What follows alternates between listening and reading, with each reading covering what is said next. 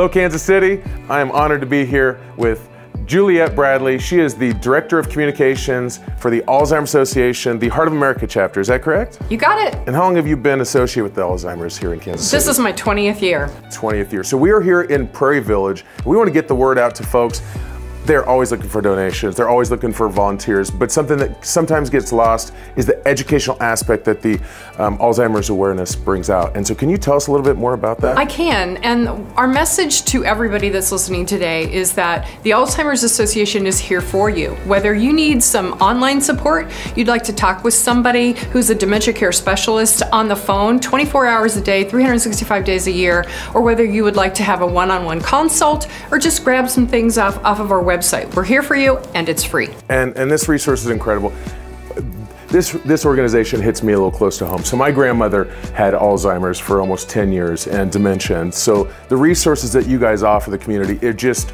are priceless. And so we just really want to get that word out there. Um, there's some other exciting things that they've got going on. This year, you guys are bringing back the walk instead of being virtually. Is that correct? We are. I know it's different, and everybody needs to understand that we are in person this year. So join us at one of our walks in several of our communities, but October 3rd for Kansas City. October 3rd, where is the walk? It's going to be at Corporate Woods, Overland Park. Woods. So everybody's pretty familiar with that. We've been there when we were in person. We've been there for many years. So we hope everybody can join us. And we will have some virtual aspects of walk just in case you're not ready. Perfect.